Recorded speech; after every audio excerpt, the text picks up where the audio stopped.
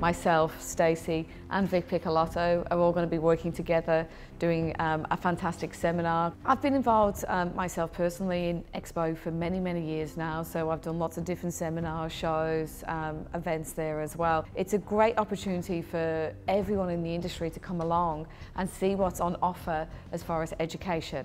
But you know, one thing that's also going to be fantastic about Expo is, is that it's not just for you know industry people, but a lot of students are going to be going through there. Mm. And I think if you're a stylist, I think it's good for you to have a choice of what you want to learn. I think that's what's going to work beautiful between the three of us as well working together as a collaboration with all the different flavours and, and fields that we have within our own work. What we're going to be sharing at Hair Expo we'll be covering every aspect of cutting, colour and styling. You know, you will always take little bits of your own personal journey and experiences you've had over the years. And you know, between all three of us, we've pretty much worked in every part of the globe now. So we've had a lot of cultural influences as well. And I think I know as a hairdresser and an educator, that's helped me grow, it's helped all of us grow as well. And that gives us more content to be able to share with other people so we can bring out the best in them when we're teaching. The three of us are very dedicated educators. We really care about the industry, we care about the quality and standards of work that's being produced.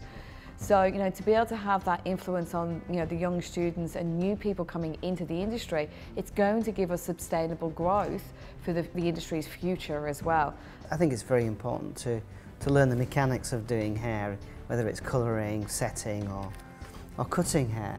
MyHairdressers.com going online, we've really catered to, you know, that young learner of today. So they're really going to be excited about that. And not everyone has the ability to be able to go to a dedicated training facility or have an educator come to them into their salon.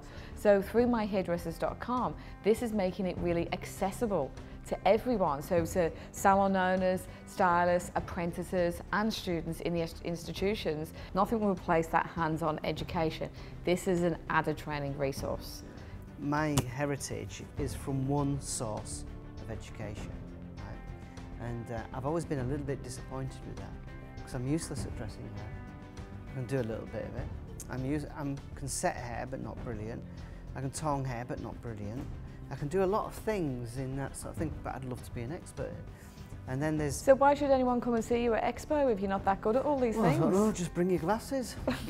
bring your glasses and make sure they're really strong. So it's a little bit blurred and then you'll think, wow, that's nice. It's a good job you can cut hair well, isn't it? yeah. Wow, you know, I have the famous Stacey Broughton, you know, showing me hey, how to do famous? Famous? Stacey, oh, you're famous? famous? Yeah, you're Give famous. Really? Yeah.